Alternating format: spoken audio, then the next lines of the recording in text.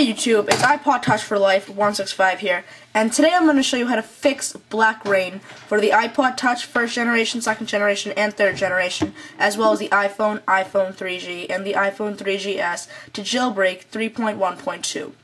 Now, in my jailbreak video, I'm sure um, a lot of you were having problems with the blackra1n jailbreak. It wasn't working properly for you. So this video will basically show you how to fix those problems, and hopefully it should work after this. Um, the first thing you want to do is download blackra1n. You want to view the original video if you haven't already, um, so go view that video right now and uh, get up to the steps until you download blackra1n. Once you have blackra1n downloaded, this is the steps that you need to follow.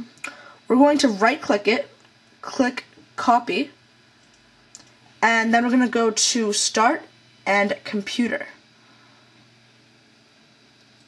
Then we want to go into local disk C drive and now all we want to do is basically copy it in here. So right click and paste. Now what we want to do is go into Task Manager, right click, click Task Manager, and we want to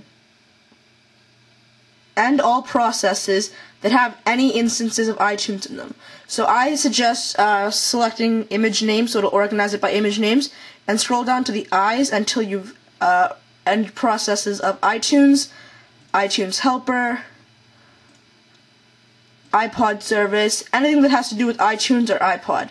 Once you have no instances of iTunes or iPod or anything like that running, we want to right click on blackra1n.exe, the one in our local disk, the copy that we made. Right click and click run as administrator. So you will need to be an administrator to do this. Click run. And now all you need to do is follow the steps in my other video. All you have to do is click make it rain and it will jailbreak. But follow the other video for the full instructions on how to jailbreak.